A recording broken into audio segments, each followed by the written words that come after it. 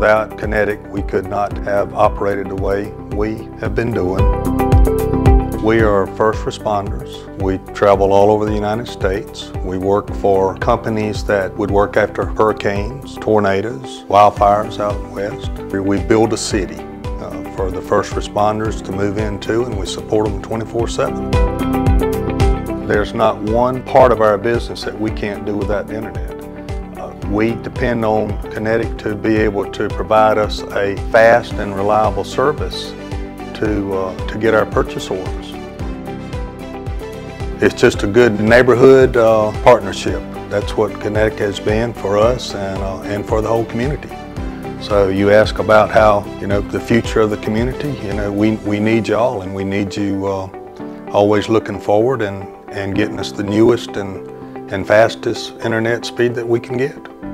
So thank you.